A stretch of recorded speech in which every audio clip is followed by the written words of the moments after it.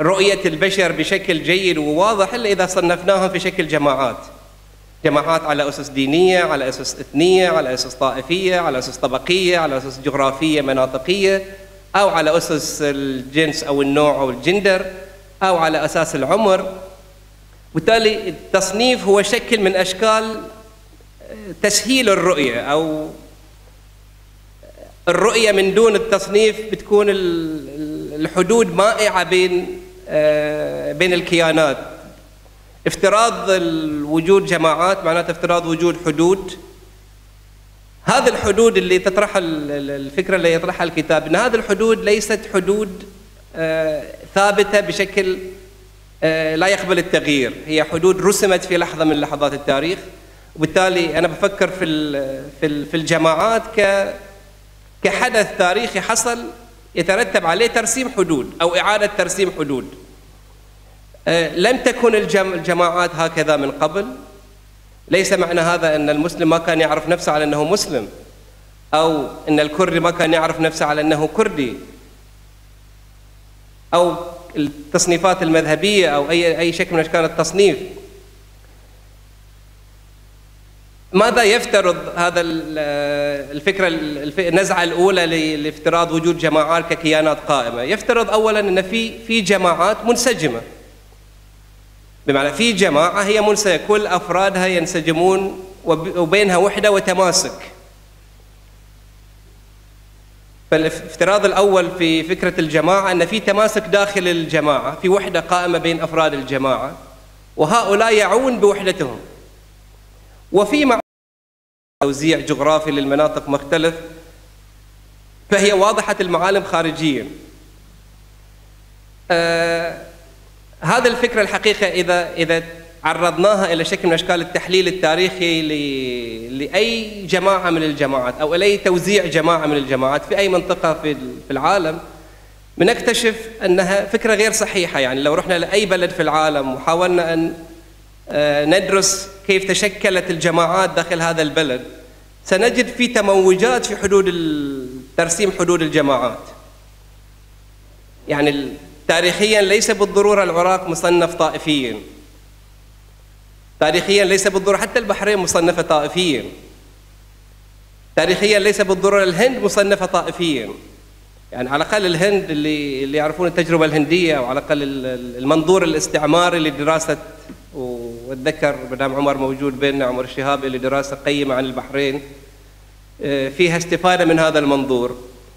اللي درسوا الهند الحقيقة آه، وتحديدا في مدرسة مشهورة في الهند اسمها مدرسة التابع أو سب الترن ستديز مدرسة التابع آه، وهي تدرس تشكل الهويات الطائفية أو الإثنية داخل الهند. تلاحظ أن قبل الوجود البريطاني في الهند الحدود الحقيقة عائمة تخوم الجماعات أو الطوائف عائمة مو محددة بشكل صارم بين هندوسي ومسلم. الحدود مرسومة على أشكال مختلفة. بعضها إحنا نفترض ان حاليا الآن 800 مليون هندوسي كلهم يشكلون هوية واحدة كلهم يشكلون جماعة واحدة. بمعنى جماعة بينها انسجام قائم وبينها مصلحة قائمة واحدة وبينها تماسك قائم بمعزل عن الفروقات القائمة أو الاختلافات القائمة بين الجماعات. اللي تشكل هذا الكيان الضخم اللي اسمه الهوية الهندوسية آه، للهند. قبل الوجود البريطاني كانت الهويات تخوم الهويات غير واضحة وغير محددة بشكل صارم. بعد الوجود الهندي تم التحديد يعني كشكل من أشكال الإدارة آه، لإدارة مجاميع بشرية كشكل من أشكال توزيع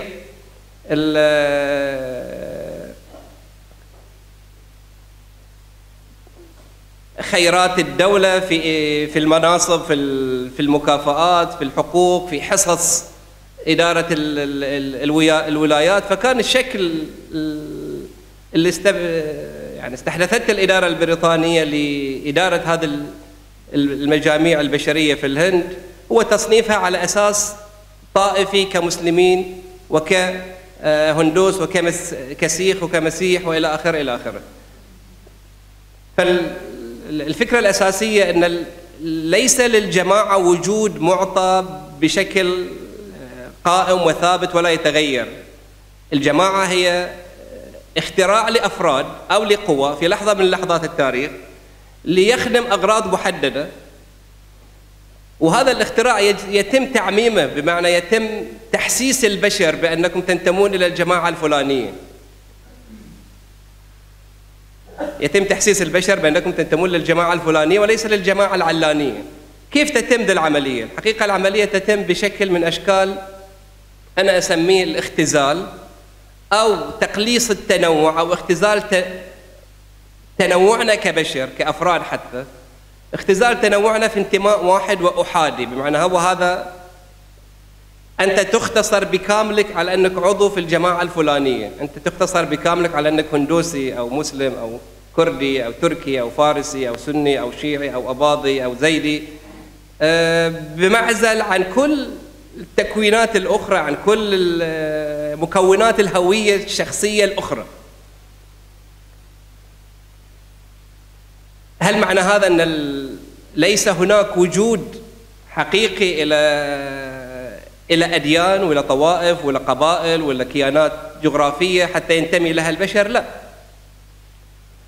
كل هذا موجود ولكن السؤال اللي يطرح أنه لماذا يتم استبعاد كامل الانتماءات الأخرى إقصائها بأكملها ويتم انتخاب انتماء واحد فقط ويعتبر هذا هو انتمائك الأحادي والمصيري لا تبديل له ولا تغيير.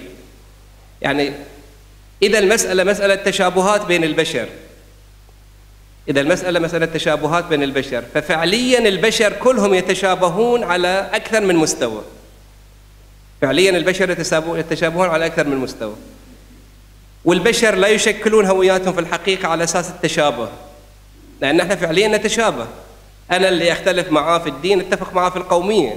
اللي أختلف معاه في القومية قد ألتقي معاه في الوطن. اللي أختلف معاه في الوطن قد أتفق معاه طبقيا. وهكذا بمعنى أو بآخر أن إذا مسألة مسألة تبديلات بين محور ومحور إحنا فعليا ممكن أن نلتقي مع أي كائن بشري على وجه الكرة الأرضية في أي محور من المحاور في أي مستوى من المستويات. أبرز مثال ممكن يطرح على آه، للتدليل أو لتوضيح ذا الفكرة. آه، طبعا كلكم تعرفوا فكرة الصراع اللي جرى في في راوندا بين بين القبيلتين الهوتو والتوتسي. إذا مسألة تشابهات فبين الهوتو والتوتسي تشابهات تقريبا لا حد لها. هذول الاثنين هم نفس اللون كقبيلتين. هم ينتمون إلى نفس اللون ولا نفس السلالة ك ك كأثنية يعني أو ك اللي هي السلالة الزنجية أقصد ليس بالمعنى الاثني الثقافي. هم ينتمون لنفس القارة الأفريقية وينتمون لنفس البلد اللي اسمه راوندا ولنفس الدين اللي اسمه المسيحية ولنفس المذهب اللي اسمه الكاثوليكية. وكثير منهم يعيشون في نفس المدينة اللي هي العاصمة في كيغالي ومتصاهرين فيما بينهم. يعني في زوج من الهوتو وزوجته من التوتسي. فمن حيث التشابهات بين القبيلتين تشابهات أكبر من الاختلاف الحاصل فيما بينهم. أنهم ينتمون لقبيلتين مختلفتين تاريخيا بحكم الوجود الاستعمار البلجيكي في المنطقة جرى توزيع الحصص داخل الدولة لصالح الأقلية الصغيرة اللي هم التوتسي على حساب الأغلبية اللي هم الهوتو فبدت الأمور تتراكم بس فعليا اللي حدد الصراع أو الزعامات اللي. اللي أطلقت شرارة الصراع أطلقت شرارة الصراع على أساس الاختلاف القبلي بين الهوتو والتوتسي. بمعزل وما كانوا شايفين يعني حتى العملية تتم ينبغي أن يتم اختزال هويات الروانديين بأكملهم في هذا الانتماء فقط. بمعنى ينبغي على الهوتو أن لا يتذكر أن ذا التوتسي اللي راح يقتله ينتمي مع لنفس المنطقة ولا نفس المذهب ولا نفس الدين لنفس البلد ولا نفس العرق. آه، ينبغي إقصاء ونسيان كل هذه الانتماءات والتذكير فقط بانتماء واحد هو الانتماء القبلي آه، للهوتو أو التوتسي. لنفترض أن واحد من هذول الهوتو اللي كانت هويته تتحدد بكونه هوتو انتقل في القرن الثمانية عشر أو في القرن التسعة عشر قبل ستينات القرن التسعة قبل ستينات القرن العشرين إلى الولايات المتحدة الأمريكية. أو لنفترض أن واحد من هذول الهوتو كان موجود في جنوب أفريقيا قبل تسعينات القرن العشرين يعني قبل المصالحة اللي حصلت وخروج نيلسون مانديلا من الحكم كيف سيرى هذا التوتسي أو الهوتو هويته داخل جنوب أفريقيا إبان التمييز العنصري القائم في جنوب أفريقيا؟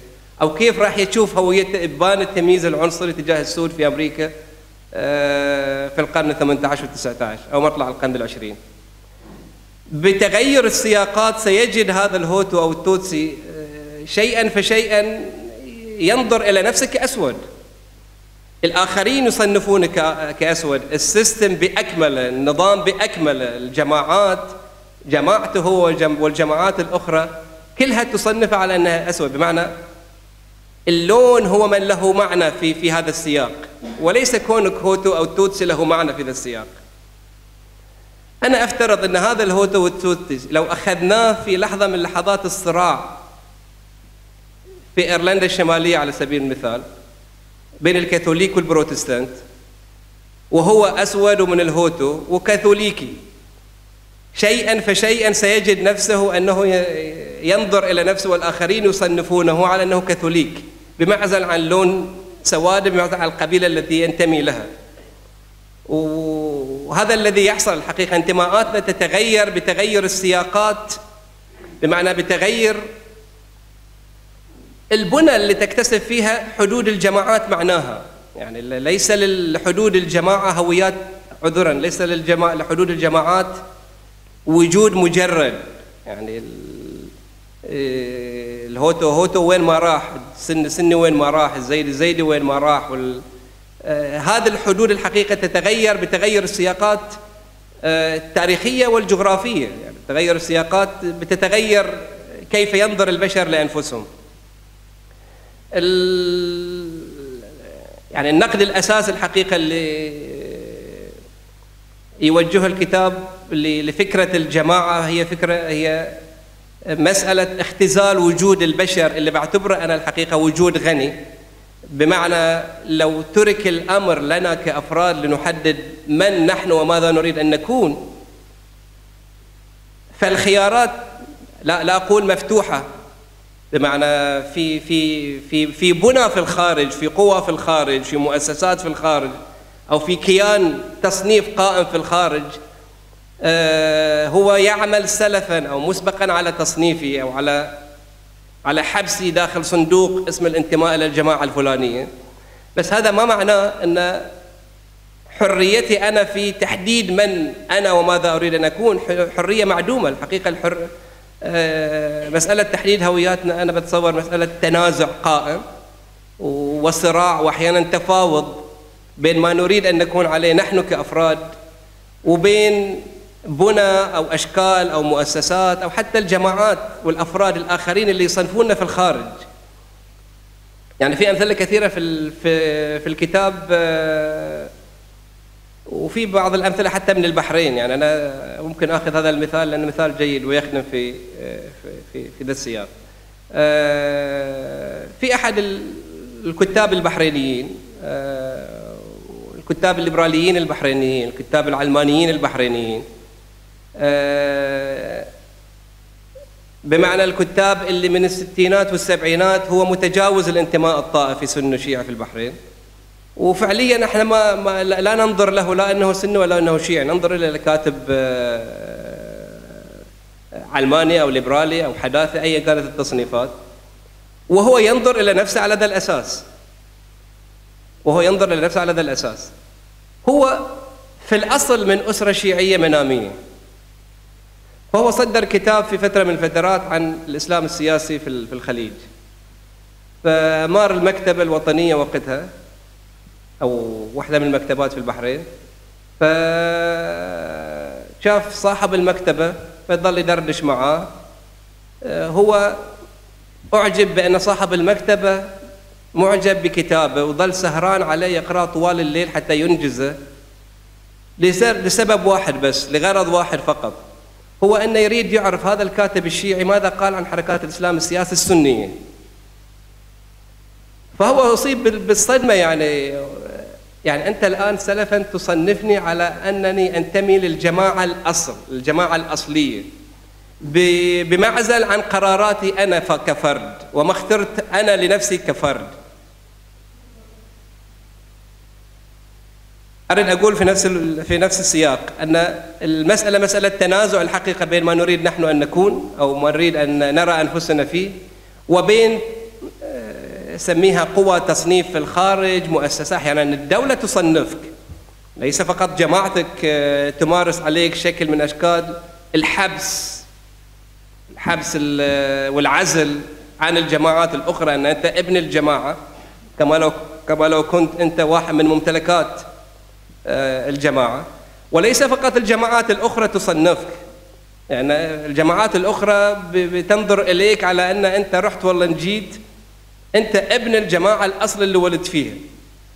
وبيتم النظر إليك داخل بنى أو قوة تصنيف في الخارج على ذا الأساس. أنا بقول هذا موجود وإرادتنا أيضا موجودة في تحديد ماذا نريد أن نكون. يعني هو هذا أنا بتصور هو دي الفكرة الأساسية المطروحة في الكتاب. أه واحدة أيضا من الأفكار المطروحة في الكتاب لها صلة بفكرة أه إن ما الحل في مسألة اختزال هويات البشر المتنوعة أو وجود البشر الغني والثري والمتنوع؟ أه يعني أنا أنا عندي حرية تقريبا على الأقل بهامش واسع لأحدد من أكون. أنا بحريني ومسلم وعربي و آه، وأكاديمي ومثقف وابن قرية معينة أو مدينة معينة وابن طبقة معينة ورجل ولست أنثى وإلى آخره. في النهاية أنا بشر. يعني هي كلها مستويات أنا في لحظة من اللحظات قد أجد نفسي فيها وقد أجد أن هذه في الحقيقة هي محور هويتي. هذه محور هويتي. قد أفاجئ أن الآخرين يختزلون كل هذا التنوع اللي أنا شايف نفسي فيه في انتماء واحد أن أنت ابن الجماعة الفلانية ابن الجماعة العلانية إلى آخره. هذا موجود وذاك موجود. ما الحل في ذا الموضوع؟ يعني في بمعنى كيف بالإمكان مقاومة هذا الشكل من أشكال الاختزال أو التقليص لوجودنا كبشر في انتماء واحد؟ اللي قرأوا الحقيقة أمين معلوف في الهويات القاتلة واللي قرأوا آه، مرات يسان في الهوية والعنف. آه، وآخرين هي فكرة الحقيقة شائعة بين الكتاب منذ أن كتب أمين معلوف هذا الفكرة. إن الحل هو بتذكير البشر بانتماءاتهم المتنوعة. إن الحل أن يتذكر السني والشيعة إنهم قبل أن يكونوا سنة أو بعد أن يكونوا سنة وشيعة هم بحرينيين وهم مسلمين وهم عرب وهم خليجيين وهم آه، إلى آخره إلى آخره، وبالتالي الحل لمقاومة هذا الشكل من أشكال الاختزال هو تذكير البشر بانتماءاتهم المتنوعة.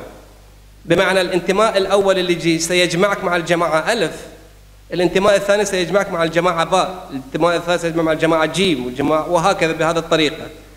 آه، فعليا ستجد أن أنت متشعب من حيث الانتماء إلى جماعات متعددة. فبأي معنى يتم اختزال وجودي كله أن أنا فقط الجماعة الألف أو الجماعة باء أنا بطرح فكرة في الكتاب آه، ليس ضد هذا النوع من أو هذه الفكرة اللي يطرحها من معلوف أو أمار آه، وإنما بطرح فكرة أن فكرة الجماعة في الأصل أو فكرة الهوية في الأصل آه، تتضمن أنا بسميه وحش الهوية بمعنى شكل من أشكال إنتاج الشرور. في في شر في في طابع شراني موجود في أي هوية. والسبب يرجع على أن الهوية بشكل أو بآخر فيها شكل من اختزال الأفراد في كيانات مجردة أكبر منهم. بمعنى أن ليس ليس المهم الفرد المهم الكيان الأكبر من الفرد اللي هو اسم الجماعة. فهو من حيث المبدأ فكرة الهوية أو فكرة الجماعة بتعطي بتعطي شكل من أشكال التقدير للجماعة نفسها. بمعنى الجماعة لها شكل من أشكال التقدير وبالإمكان تحويل الأفراد اللي هم البشر الحقيقيين من لحم ودم بالإمكان تحويلهم إلى رقم من بين أرقام هذا اللي تكون هذه الهوية أو الجماعة أو إلى ترس في دي الماكينة الضخمة اللي اسمها الهوية أو الجماعة. بمعنى تقليص وجودهم وقيمتهم كأفراد القيمة الحقيقية لذا الكيان الجماعة الضخم اللي اسم الجماعة. في حين أن الكيان الضخم اللي اسم الجماعة الحقيقة هو اختراع يعني هو شكل من أشكال التصنيف التصنيف المخترع. ليس هناك وجود مادي للجماعة. ليس هناك وجود مادي للجماعة إلا موجود مجموعة أفراد في لحظة من اللحظات يشعرون بتعميق شكل من أشكال الروابط فيما بينهم وسيتم أحيانا حتى اختراع سيتم اختراع روابط لم تكن موجودة. سيتم سيتم آه، تعميق آه، قواسم مشتركة كانت باهتة في لحظة من اللحظات. يعني إذا إذا نبغى مثال حتى من من البحرين على سبيل المثال. وقد يكون حساس شوية بس خلينا نذكره. آه الآن إحنا نتحدث في البحرين أو على الأقل هذا خطاب موجود وهذا كلام متداول إن في سنة وفي شيعة بمعنى في جماعة واضحة المعالم اسمها السنة وفي جماعة واضحة المعالم اسمها الشيعة فعليا تاريخيا في البحرين هل هذا كان صحيح؟ هل هذا كان موجود؟ على الإطلاق لم يكن موجود بهذا الشكل اللي إحنا نعرفه الحين وممكن حتى إلى اليوم غير موجود يعني ما زال إلى اليوم هو سعي وهو رغبات وهو مطالب أفراد أو قوى لأغراض محددة يعني يعني لها جانب بتسييس الجماعات أو بتسييس الانتماء للجماعات. آه تاريخيا على سبيل المثال الشيعة لم يكونوا شيعة ضد السنة أو في قبال السنة يعني الآخر للشيعة لم يكن السني في البحرين. الآخر بالنسبة للشيعة الأخباري هو الشيعة الأصولي. الآخر للشيعة الأصولي هو الشيعة الأخباري وأحيانا بين قريتين متجاورتين الآخر لا هو هذا ولا هو هذا الآخر هو ابن القرية الفلانية ابن القرية العلانية. بمعنى القرية الفلانية سترسم حدود انتمائها بناء على أنها ليست ذاك الآخر. وهذا هذا القائم فعلا. القائم أننا نشكل هوياتنا ليس بشكل إيجابي على ما بيننا من قواسم مشتركة وإنما بشكل سلبي. بمعنى ما ليس موجود عند الآخر هو مناسب لأن يكون مقوم أساسي لترسيم هذه الحدود. وبالتالي ينبغي تحديد يعني اللي يحدد هويتنا الحقيقة هو الآخر هذا. على في علم الاجتماع نسميه إحنا الآخر المهم بمعنى الآخر اللي بناء عليه تتحدد حدود الهوية ألف. لو تغير هذا الآخر يعني كمثال افتراضي لو في بلد من البلدان يعيش فيه بشر عرب وأكراد وتركمان وفرس.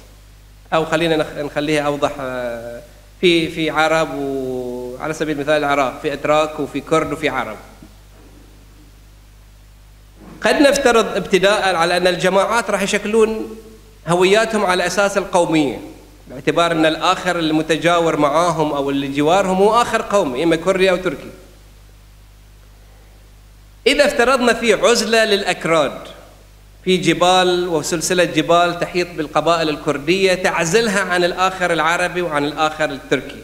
وليس هناك اتصال مباشر بين الأكراد وبين العرب وبين الأتراك. كيف سيشكل الأكراد حدود هوياتهم؟ ستتشكل حدود هوية الأكراد على الآخر الداخلي يعني الكردي اللي في الشمال والكردي اللي في الجنوب.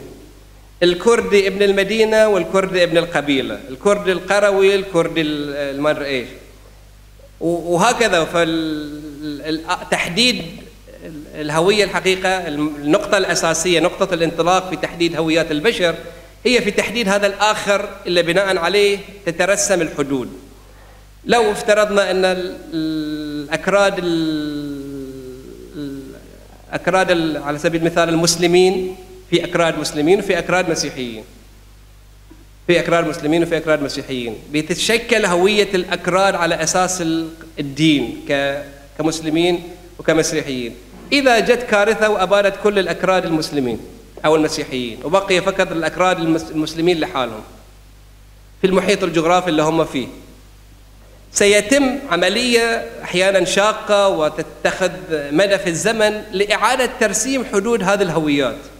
إن بيبدأ الأكراد المسلمين يعيدوا فرز أنفسهم على أساس مختلف كأكراد مسلمين في الشمال في قبال أكراد مسلمين في الجنوب. آه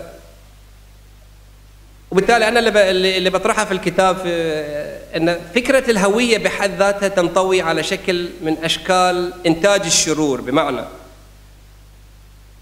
ليس يعني ليس بالإمكان تخيل الجماعات أو الهويات إلا بالحدود. إن في في حدود ترسم من هم داخل الدائرة عن من هم خارج الدائرة. بين نحن وهم. وبالتالي فكرة الحد فكرة الحدود هي اللي بتخلق المسافة بيني وبين الآخر. حتى لو كانت مسافة افتراضية أو مسافة متخيلة.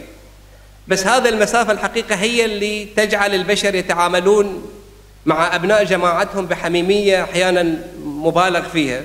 وتجعلهم يتعاملون مع أبناء الجماعات الأخرى ببرود وحتى انعدام إحساس. يعني في تشبيه إلى أحد أحد الفلاسفة النرويجيين بيشبه الهوية على أنها ثلاجة معكوسة. بمعنى الثلاجة حتى تنتج هواء بارد في الداخل عليها أن تنتج هواء حار في الخارج.